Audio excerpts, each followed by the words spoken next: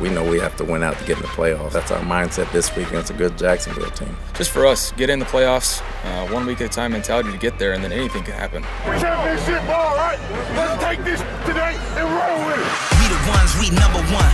Top runners, we the top guns. Guess who? It's Godwin again. One ball, Godwin inside the 25. This time he's taken down.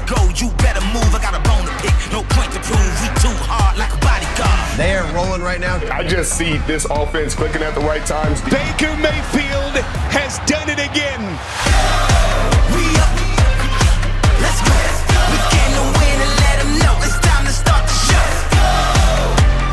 Let's lock in. Let's do.